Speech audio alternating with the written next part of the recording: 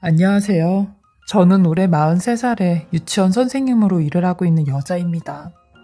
저는 40살이 될 동안 결혼을 하지 못했어요. 9년 만났던 남자친구와 아이가 생기면서 결혼 준비를 하게 되었는데 결혼 준비 중에 남자친구가 교통사고로 하늘나라에 가게 되었어요. 그러면서 뱃속에 아이까지 유산이 되어버린 일이 있었습니다. 저는 그 충격으로 10년이 넘게 아무도 만나지 못했고 만날 생각도 하지 않았어요. 제가 누군가를 만나고 행복해하는 자체가 먼저 떠난 두 사람에게 죄를 짓는 거라 생각했고 도리가 아니라고 생각이 들었거든요. 그래서 혼자 사는 게 그 두 사람을 위한 일이라고 생각했습니다. 되려 저는 이렇게 사는 게 속이 편했지만 지켜보는 가족들은 그게 아니었죠. 매일 밤 울면서 지내는 제 모습에 엄마는 여러 번 가슴이 찢어지셨고 수면제 없이는 아예 잠을 못 자는 저를 보며 아버지는 가슴을 내리치셨어요. 마음의 병이 무서운 게 어디가 다쳤는지 어디가 아픈지 눈에 보이지 않았기에 치유되는데도 시간이 정말 오래 걸리더라고요. 딱 10년 걸렸어요. 그리고 10년 뒤 제게 예쁜 딸이 하나 찾아왔어요. 바로 저희 유치원에 다니던 아이였는데 그 아이는 부모님의 이혼으로 아빠와 단 둘이 사는 아이였죠. 근데 그 아이가 저를 참 잘 따랐어요. 그래서 그런지 저도 유난히 다른 원생들보다는 그 아이에게 정이 많이 갔죠. 사실 요즘 이혼하는 가정이 많아지면서 한부모 가정 아이들이 저희 유치원에도 많이 있어요. 근데 대부분 양육권을 엄마들이 가지고 와서 애들이 엄마 손에서 많이 크는데 이 아이는 아빠 손에서 자라다 보니 여느 엄마들처럼 아빠가 아이를 잘 못 챙겨주는 부분이 있었거든요. 그 중에 제일 티가 많이 나는 게 아이의 머리 상태인데요. 아이 아버님이 열심히 묶는다고 묶어도 매번 엉성하게 머리가 묶여져 제가 아침마다 이 아이의 머리를 다시 묶어주곤 했어요. 그리고 유치원 소풍 때도 티가 많이 났던 게 이 아이만 항상 호일에 싸져 있는 김밥 두어 줄을 가지고 왔죠. 대부분 어른들은 애들이 어리니까 이런 걸 잘 모른다고 생각을 하는데 이런 사소한 것들을 애들이 더 잘 알아서 놀리기도 하고 짓궂게 장난을 치기도 하거든요. 저는 그걸 알고 있었기에 소풍 가기 전날이면 미리 예쁜 도시락통에 아이의 점심을 싸놓곤 했어요.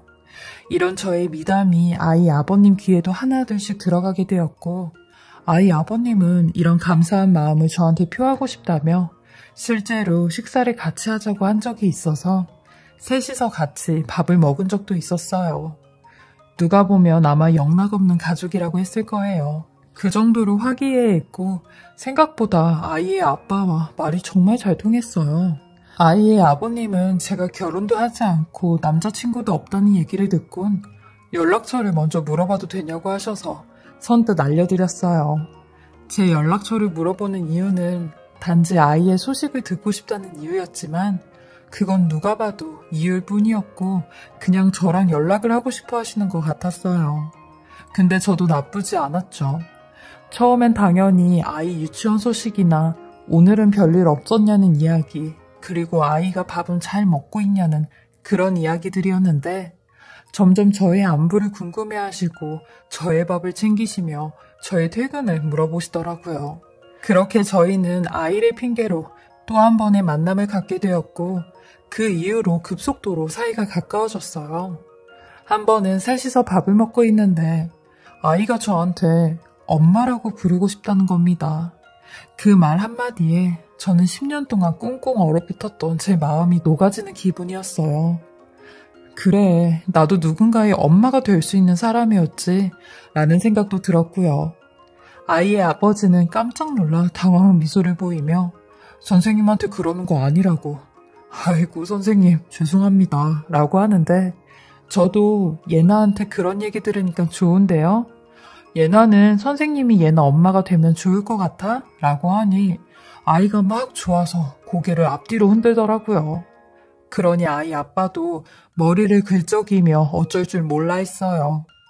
그렇게 저희 두 사람은 아이라는 징검다리를 가운데 두고 좋은 감정을 갖게 되었어요. 그러다 진지하게 결혼 이야기까지 오고 가게 되었죠. 근데 결혼을 하기 위해선 서로 알아야 할 많은 이야기들이 있었어요. 제 과거 이야기부터 예나 아빠의 이혼 이야기까지 사실 제일 궁금했던 게 이혼 사유였거든요. 예나 아빠와 사귈 때는 이혼을 왜 했냐고 물어보는 것도 실례였기에 궁금해도 참았는데 결혼 얘기가 나오는 이상 짚고 넘어가야 해서 물어봤습니다. 그날 저희는 밤새도록 지난 이야기를 하게 되었는데 저는 예나 엄마가 그렇게 대단한 사람인 줄은 몰랐어요. 예나 엄마는 수도권 시내에서도 아주 이름난 성형외과 의사라고 했죠. 본인과는 분수에 맞지 않는 여자였다고 했어요. 비교도 안 되는 직업과 학벌, 그리고 외모까지 모든 게 다 출중한 여자였다고 하더라고요. 근데 이런 여자가 먼저 자기한테 대시를 했대요. 친구 결혼식에 갔다가 2차 피로연에서 만나게 되었다는데 둘은 연애 기간보다 결혼 허락을 받는 기간이 더 길었대요. 얘나 엄마 부모님께서 반대를 엄청 하셨다는데 그도 그럴 법한 게 의사인 딸이랑 일반 직장인 남자랑 비교해 봤을 때 본인 딸이 더 아깝다고 생각을 했겠죠. 하지만 얘나 엄마의 죽느니 사느니 하는 소동 때문에 우여곡절로 결혼은 했대요. 워낙 얘나 엄마가 얘나 아빠를 일방적으로 많이 좋아해서 얘나 아빠는 이 사실이 마냥 고맙기만 했다는데 어느 남자가 이런 여자를 마다하겠나요? 하지만 얘나 엄마는 아주 예쁘게 포장이 잘 된 독사가나 다름이 없었고 그 사과를 한 입 베어 먹자마자 탈이 나기 시작했대요. 결혼을 하자마자 시작된 집착과 구속이 점점 숨통을 조여왔다네요. 한 번은 회식을 하고 술에 취해 잠을 자고 있는데 누군가 자기 발을 만지는 듯한 기분이 들어 눈을 떴대요. 근데 얘나 엄마가 킁킁대며 자기 발냄새를 맡고 있었다는 겁니다. 그 모습에 기겁을 하고 지금 뭐하냐고 하니 어디서 다른 여자를 만나고 왔으면 분명 샤워를 하고 왔을 거라고 맡아보니까 아니네 라고 했다는데 예나 아빠는 이런 예나 엄마를 보고 하루라도 빨리 아이를 가져야겠다고 생각했대요. 그래야 그런 집착이 누그러질 줄 알았다는데 이런 집착은 예나를 낳고 나서 더욱 심해졌다고 했죠. 이젠 하다하다 본인 딸까지 질투를 하기 시작했다는 겁니다. 자기보다 딸을 더 예뻐해준다면서 딸을 미워하고 제대로 챙기지도 않았다는데 결국 이런 집착으로 예나 4살 때 이혼을 하게 되었대요. 그렇게 1년간의 소송 끝에 양육권까지 가지고 이사까지 하는 혼자 애를 키웠다고 했죠. 저도 이런 예나 아빠의 과거를 듣고 고생이 정말 많으셨겠다고 했어요. 그리고 제 과거 이야기도 쭉 하니 가만히 듣고만 있던 예나 아빠가 눈물을 보이셨어요. 저를 위해 이렇게 울어주는 남자가 있을까 싶은 생각에 결혼까지 결심하게 되었습니다. 이 사람이면 다시 새로운 사랑을 시작해도 좋을 것 같다는 생각이 들었죠. 저희 부모님도 제 결혼 소식에 재혼인 남자면 어떠냐고 꽁꽁 얼어붙은 네 마음을 녹였으니 그걸로 된 거라고 아주 좋아를 하셨어요. 그리고 시부모님 또한 시골에서 올라오셔선 이런 못난 아들하고 같이 살아준다고 너무 고맙다고 하셨죠. 저는 재혼인 남편의 사정을 생각해 결혼식은 양가 부모님과 가까운 친지분들만 모시고 식을 올렸어요. 그리고 집은 현재 남편이 딸 예나와 살고 있는 집으로 몸만 들어가서 살기로 했어요. 딸 예나도 엄마가 생겼다며 어딜 다녀도 제 손을 놓질 않았죠. 이 어린 것이 얼마나 엄마의 품이 그리웠으면 어딜 다녀도 내 손을 이렇게 잡고 다닐까 싶은 생각이 들었어요. 그리고 평상시와 다를 바 없는 날이었어요. 그날도 어김없이 딸 예나와 함께 유치원에서 퇴근을 하고 딸을 피아노 학원에 데려다 주고 집으로 가려고 했는데 저희 유치원 앞에 웬 선글라스와 마스크를 낀 여자가 주변에 서성이고 있는 겁니다. 행색이 조금 이상했지만 누굴 기다리는 가 보다 라고 생각하고 아무 생각 없이 그 여자를 지나쳐 왔어요. 근데 느낌이 이상해 뒤를 돌아보니 그 여자가 저희를 따라오고 있는 겁니다. 아닌 척하며 따라오는 모습이었지만 눈에 너무 띄는 모습이었기에 한 번에 알 수 있었죠. 저는 일단 예나를 피아노 학원에 데려다 주고 밖에 나와 그 여자가 있는지 살펴보고 있었어요. 근데 그러던 찰나 그 여자가 먼저 제게 말을 걸었는데 전 너무 놀라 비명을 지를 뻔했어요. 다른 게 아니라 그 여자의 얼굴 때문이었죠. 코는 녹아내린 것처럼 콧구멍밖에 보이지 않았고 눈은 두꺼운 쌍꺼풀로 눈이 튀어나올 것처럼 보였어요. 그리고 얼굴은 보톡스를 넣은 건지 뭘 한 건지 울퉁불퉁하기까지 했죠. 그러곤 제게 박주성 씨 와이프 되시죠? 라고 하는 겁니다. 저는 의심의 눈초리로 누구냐고 물었고 그 여자는 저 박주성 씨랑 결혼했었던 여자예요. 박주성 씨 전처되는 사람이죠. 라는데 저는 그 여자를 향해 그래서요? 왜 저를 찾아오셨는데요? 이미 이혼한 사이고 두 번 다시 볼 사이 아니지 않나요? 주성 씨랑 이혼하고 단 한 번도 예나 보러 오지도 않았다는 분이 예나 아빠 재혼했다고 하니까 저를 찾아오신 거예요? 주성 씨 말처럼 집착이 너무 강하시네요. 이제 그만 좀 하시죠? 라고 하니 그 여자는 무슨 실성한 사람처럼 깔깔대며 웃기 시작하는데 그 얼굴을 하고 그런 웃음소리를 듣고 있는 게 너무 기괴해 온몸에 소름이 다 돋았어요. 저는 그런 여자를 밀치고 거리로 나와 눈에 보이는 대로 택시를 잡고 집으로 도망을 왔죠. 그리고 택시에 내려 그 여자가 있는지 살폈는데 다행히 그 여자는 보이지 않더라고요. 일단 남편한테는 이야기를 해야 될 것 같아 얘기를 했는데 남편이 온 몸을 떨며 그 여자가 확실하냐고 몇 번이나 되물어 보더라고요. 제가 괜한 이야기를 했나 싶을 정도로 상당히 불안했어요. 저는 일단 아무런 일도 일어나지 않았으니까 걱정하지 말자고 했죠. 예나도 나랑 24시간 붙어 있고 당분간 학원도 내가 데리고 오고 데리러 갈 테니 있어 보자고 했어요. 한 보름 정도는 잠잠했죠. 그래도 경계를 늦추면서 다니진 않았어요. 선글라스를 낀 사람이나 마스크를 낀 사람만 봐도 깜짝깜짝 놀랐으니까요. 근데 결국 일이 터지고 말았습니다. 주말에 저희 가족끼리 외식을 하러 나가려고 하는데 주차장에서 그 여자가 뛰쳐나왔고 저희 남편을 덮쳐버리는 겁니다. 그리고 그 기괴한 얼굴을 들이밀며 주성 씨 나야 당신 본부인 나 주성 씨한테 잘 보이고 싶어서 이렇게 다시 성형하고 예뻐져서 왔어. 어때? 나 더 이뻐진 것 같지 않아? 저 여자보다 내가 훨씬 더 이쁘잖아. 안 그래? 나 좀 봐줘봐. 하며 몸으로 남편을 누르는데 그 모습에 저희 아이도 울고 저는 아이를 달래고 남편은 그 여자를 떼어내고 그야말로 난리가 났어요. 남편은 도대체 나한테 왜 그러냐고 그 여자를 잡고 데리고 나가려고 하는데 갑자기 그 여자가 저희 아이에게 다가와 얘, 너 나 아니? 라고 물어보는 겁니다. 그러니 예나가 대성통곡을 하며 아줌마 누구예요? 나 아줌마 몰라요. 라며 막 제 뒤에서 숨는데 저는 그 여자를 밀치며 지금 뭐 하는 거냐고 했어요.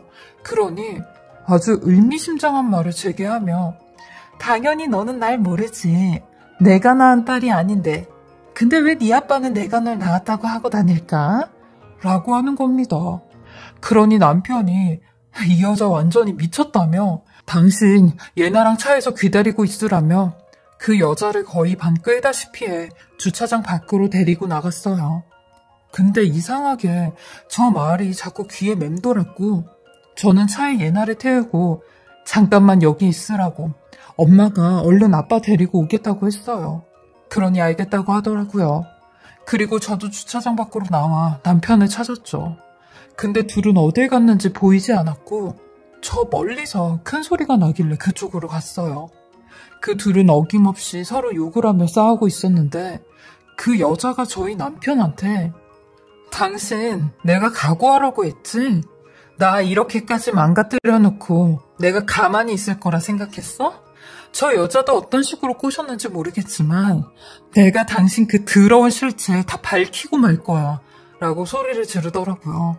그러니 남편이 차마 입에 담지 못할 소리를 하며 네가 입만 뻥끗하는 순간 너는 다시 지옥을 맛보게 될 거야. 알겠냐?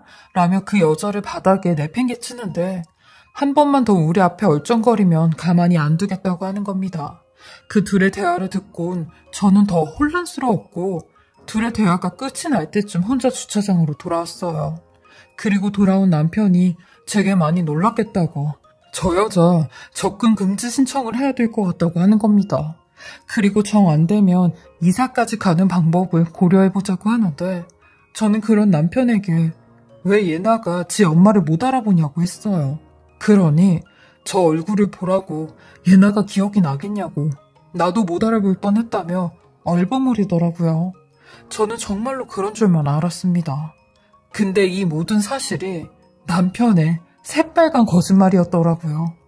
그 여자한테 연락이 왔어요. 저한테 확인시켜줄 게 있다며 예나 머리카락과 칫솔을 가지고 오라고 하는데 이 여자의 말을 그냥 흘러듣기엔 너무 찝찝한 부분들이 많았고 단 둘이 만나게 되었죠. 그리고 듣게 된이 여...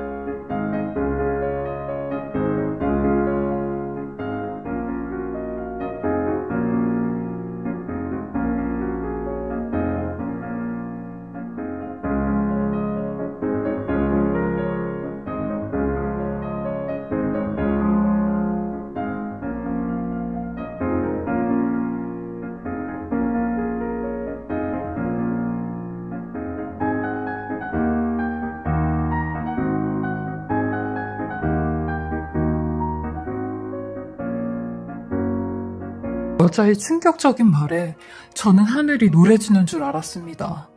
이 여자는 남편의 말대로 성형외과 의사였는데 남편과의 결혼이 첫 번째 결혼이 아니었다는 겁니다. 재혼이었다는데 남편 또한 애 딸린 싱글 데디였대요. 그 사람이 예나가 내 딸이라고 하죠. 저는 예나가 어떻게 생겼는지도 몰랐어요. 자기 부모님한테 예나를 맡겼으니까요. 그리고 내가 집착해서 이혼한 거라고 하지 않았어요? 이 인간, 이 수법으로 만난 여자가 한두 명이 아니에요. 그리고 집착은요, 내가 아니라 그 인간이 했죠. 의처증이 점점 심해지다 보니까 나중엔 하루 종일 제 병원에서 저를 감시하기 시작했고, 이혼 얘기를 꺼내면 저한테 손을 대기 시작했어요. 근데 이혼을 한다고 해도 내가 이 사람 손아귀에 벗어나지 못하겠더라고요. 점점 스토커처럼 저를 얽매이기 시작하는데 종당엔 제 스스로가 피가 말라 죽겠더라고요. 그래서 이 인간이랑 헤어지려고 일부러 내가 내 얼굴을 이렇게 망쳐놓은 거예요. 그러니 그제서야 역겹다면서 저랑 이혼을 하자고 하더라고요. 그 인간 아주 무서운 사람이에요. 처음엔 순진한 얼굴로 다가와서 나중엔 악마가 되는 사람이 그 사람이거든요. 당신이랑 결혼한 것도 분명히 이유가 있어서 결혼했을 텐데, 내가 당신을 찾아온 이유도 내 인생 망쳐놓은 그 인간한테 복수하려고 찾아온 거예요. 그러니까 얼른 그 인간한테 도망치세요. 라며 울부짖는데 저는 그 여자의 말을 듣고 이건 말도 안 된다고 했어요. 그러니 제가 못 믿을 줄 알고 예나랑 친자 검사를 해 확인시켜 주겠다며 머리카락이랑 칫솔을 가지고 오라고 한 거였죠. 그 외로 여러 가지 증거라며 저한테 증거를 보여주는데 남편이랑 그 여자가 나눈 녹음된 통화 내용을 듣고 저는 남편이 딴 사람인 줄 알았어요. 그리고 남편이 그 여자에게 보낸 협박 문자와 결혼 당시 찍어두었던 동영상까지 정말 폭군이 따로 없더라고요.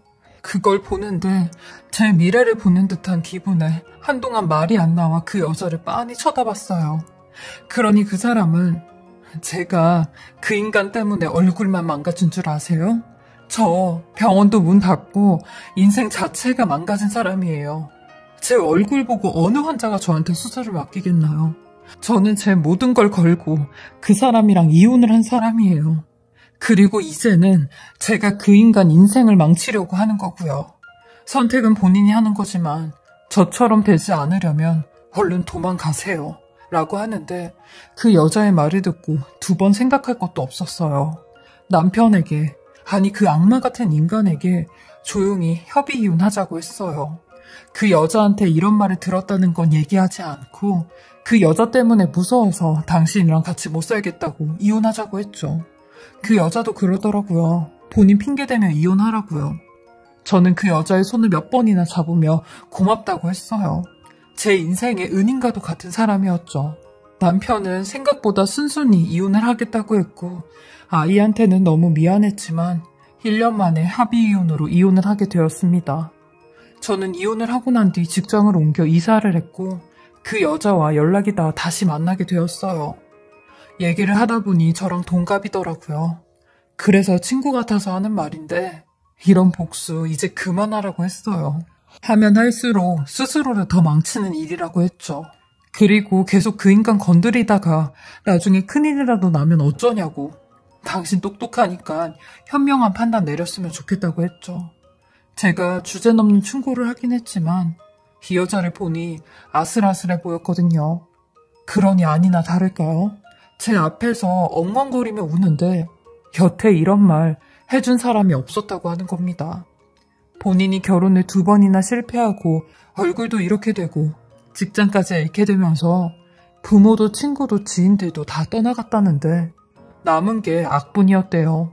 그래서 될 대로 되라라는 생각으로 낭떠러지 끝에 서 있었다고 하는데 제 말 한마디에 위로가 되었다고 했어요. 그 이후로 저는 이 사람과 친구가 되었고 서로 생명의 은인이라고 안부를 묻고 가끔 만나기까지 하는 사이가 되었습니다. 현재 제 친구는 재건 수술로 얼굴도 많이 회복이 되었고 작년에는 종합병원에 취직을 해 유방암 절제 수술을 받은 환자들을 위해 유방 재건 수술을 하는 성형외과 의사가 되었어요. 친구는 이제야 사람 사는 것 같다며 너 아니었음 평생을 페인처럼 살았을 거라고 하는데 저도 그런 친구에게 나도 너 아니었으면 평생 그 인간한테 발목 잡힐 뻔했다고 했죠. 제 인생도 돌이켜보면 참 많은 일들이 있었던 것 같아요. 살면서 또 다른 시련이 찾아오겠지만 잘 헤쳐나가야겠죠. 제 이야기 들어주시고 읽어주셔서 감사하고요. 다들 건강 챙기시며 행복한 인생이 되시길 바라겠습니다. 지금까지 커피앤톡이었습니다. 오늘도 제 채널을 봐주셔서 감사합니다.